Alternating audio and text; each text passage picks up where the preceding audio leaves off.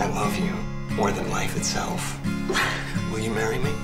Not another woman would say yes to you right now.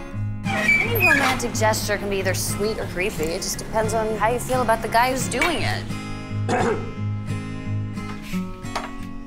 There's been an accident. The meaning of life is that it stops. You were made for me. What if I told you we could have her back? It's something I can't even think about. It's something I can't stop thinking about.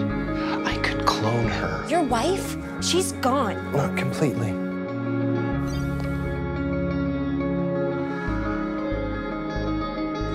It's against nature. I made you your favorite. She wasn't the same. Genetics is just a small part of what makes us who we are. And what's the other part? Our experiences. Dear Lord, Open wide.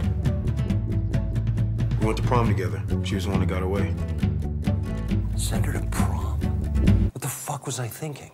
He needs to get laid. So go do it again. I tried over and over again. I'm not done. Oh, God. What's wrong with me? Nothing. Nothing. I, I don't want it to blow up in your face. Hey,